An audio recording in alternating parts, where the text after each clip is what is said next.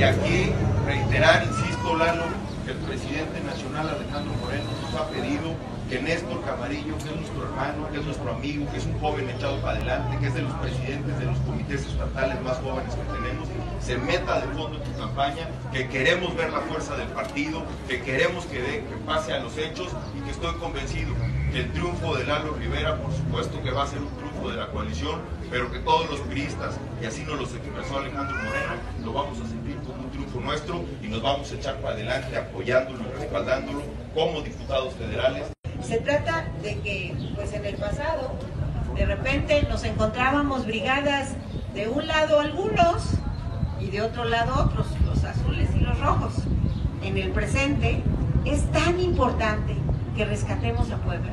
que corrijamos el rumbo, como dice Lalo, que hoy estamos blancos, rojos y azules en una sola causa. Y la causa, la causa son ustedes, la causa es Puebla. Por eso este día vengo, por supuesto que con mucho gusto, a acompañar a quien tendremos que hacer posible que se convierta nuevamente en el próximo presidente municipal de Puebla. Apoyar a Eduardo Rivera.